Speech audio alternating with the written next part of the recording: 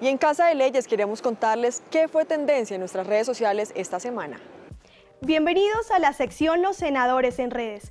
Esta semana revisamos el movimiento de algunos de los congresistas en redes sociales, quienes nos dejaron ver su gestión a favor de las regiones, sus logros frente al Plan Nacional de Desarrollo y sus posturas durante la actividad legislativa en el Congreso de la República.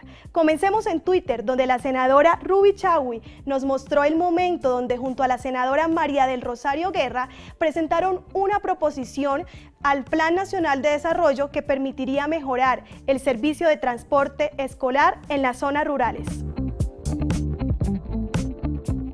Arroba Ruby Chagui. Con la senadora María del Rosario Guerra, arroba Charo Guerra, radicamos proposición en artículo 163 del Plan Nacional de Desarrollo para que se garantice el transporte escolar a los niños y adolescentes que viven en zona rural.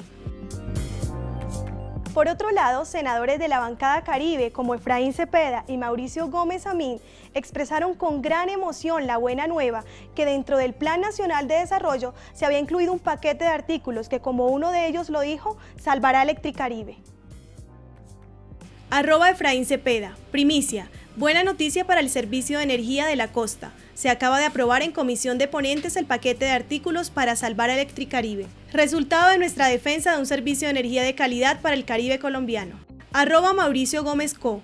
Como coordinador ponente del Plan Nacional de Desarrollo, logramos que el Gobierno Nacional asuma el pasivo pensional de Electricaribe por valor de 1.2 billones. Queremos que la empresa sea atractiva para los eventuales inversores. Lo más importante es garantizar un servicio de calidad y eficiencia. Y desde su cuenta la senadora Nadia Blel nos compartió su intervención durante el control político a la Comisión Nacional del Servicio Civil que se desarrolló en la Comisión Séptima. Arroba Nadia Blel. Le expresamos a la presidenta de arroba CNSC Colombia nuestra preocupación por el aumento gradual en acciones de tutela por parte de los ciudadanos que se sienten vulnerados sus derechos en el desarrollo de los concursos públicos de méritos. Requerimos respuestas a los compromisos adquiridos. Y a propósito del Día del Hombre que se celebró el 19 de marzo, les compartimos lo que algunas senadoras trinaron para conmemorar esta fecha. Arroba María Fernanda Cabal. Hoy es un día para destacar la labor de aquellos hombres que contribuyen positivamente a nuestro país desde cada uno de sus roles. Arroba Laura Fortish San.